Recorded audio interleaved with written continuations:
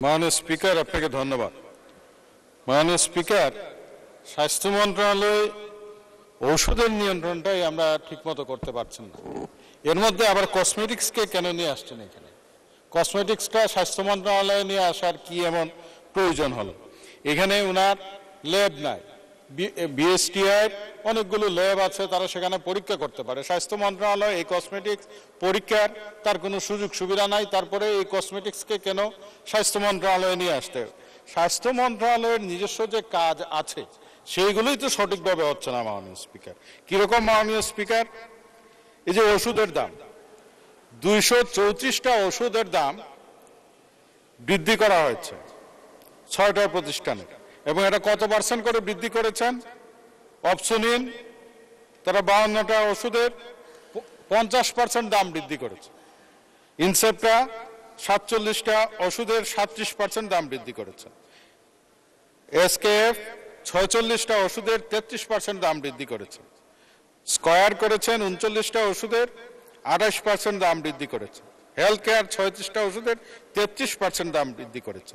অথচ স্বাস্থ্য মন্ত্রণালয়ের স্বাস্থ্য অর্থনীতি ইউনিটের তথ্য বলছে যে বাংলাদেশে একজন মানুষের মোট চিকিৎসা খরচের চৌষট্টি শতাংশ ব্যয় হয় এই ওষুধ ক্রয়ের জন্য।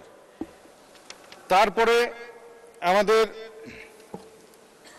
এই যে সরকারি একমাত্র প্রতিষ্ঠান এসেনশিয়াল ড্রাগস সেটার স্বাস্থ্য অডিট রিপোর্টে কি প্রতিবেদন আসছে, মাননীয় স্পিকার স্বাস্থ্য অডিট রিপোর্টে প্রতিবেদন আসছে দুই হাজার বিশ একুশ অর্থ বছরে অডিট প্রতিবেদনে বত্রিশটি গুরুতর অনিয়ম সরকারি অডিটেই আসছে।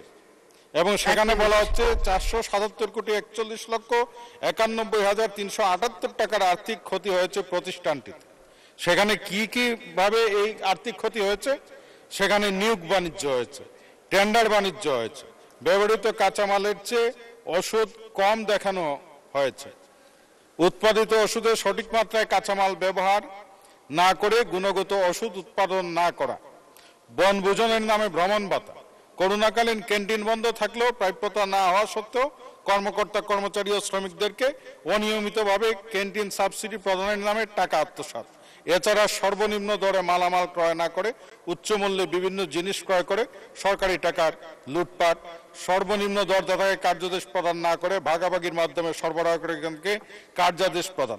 এটা সরকারি স্বাস্থ্য অডিটে নিরীক্ষাতে এটা উঠে আসছে মাননীয় স্পিকার। এই স্বাস্থ্য মন্ত্রণালয় তার নিজস্ব একমাত্র ওষুধ প্রতিষ্ঠান, সেটাই নিয়ন্ত্রণ করতে পারছে না। এর মধ্যে আবার কসমেটিক্সকে এখানে এখানে কেন নিয়ে আসছেন? দুইটা এক জায়গায় আনার দরকারটা কি? ধন্যবাদ ধন্যবাদ মাননীয় সদস্য।